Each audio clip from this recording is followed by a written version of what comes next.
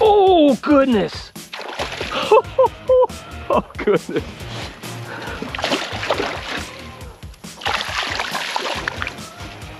Come on, dude.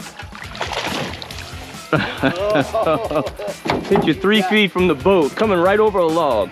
Now these Kentuckies are super strong because they live in this swift current. They don't fight like a typical bass at all. Not that bass are weak, but these things are super strong. They fight more like redfish.